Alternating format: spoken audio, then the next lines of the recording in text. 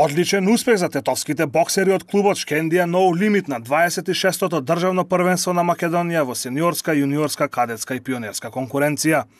Тетовци на првенството кое се одржа во Охрид настапија со 9 надпреварувачи, од кои 5 мине се закитија со одличија, додека двајца се пласираа во финалето кое е одложено поради големиот број на борби.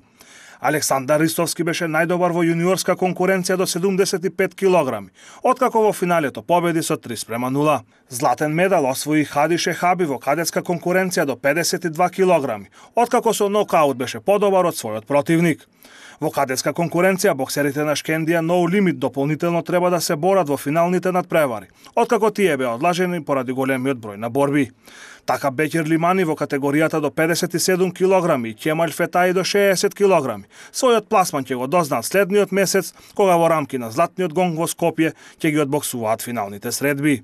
Сребрени одлише освоја Алија Земи во сениорска конкуренција до 81 килограм, Милан Петковски во кадетска конкуренција до 66 килограми и Јагон Алија во конкуренција на деца до 48 килограми. Се борев на државното првенство во Македонија, учествував во категорија јуниори до 75 кг, кила освоив прво место, боксував во полуфинале и во финале против двајца, во полуфинале боксував од Скопје, универзалци, а во финале од исто од Скопје од клубот Чаир. Како си ти задоволен тоа што го постигна?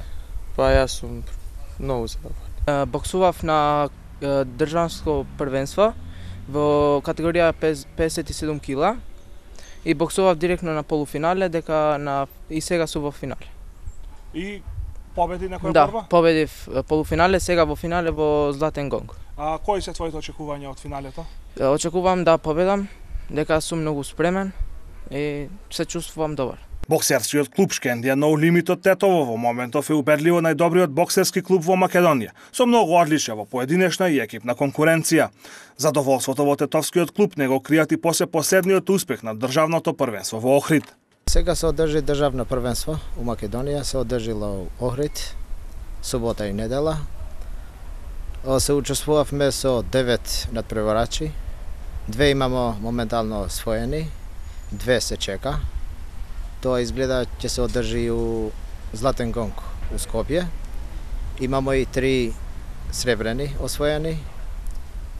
Тие моментално што ги освоили, тие се Александар Ристевски и Хади Шехаби.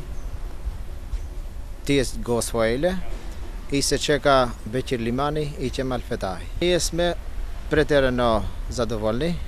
Не чекавме толку од децата, сите се по 3-4 мечови, ама го покажаа тие своје, своето колку можеле.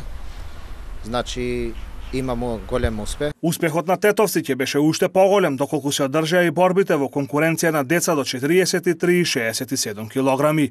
Во овие категории единствените представници беа Амин Фетаи и Леонард Абази од Шкендија No но поради немањето на противници, нивните борби не се одржаа.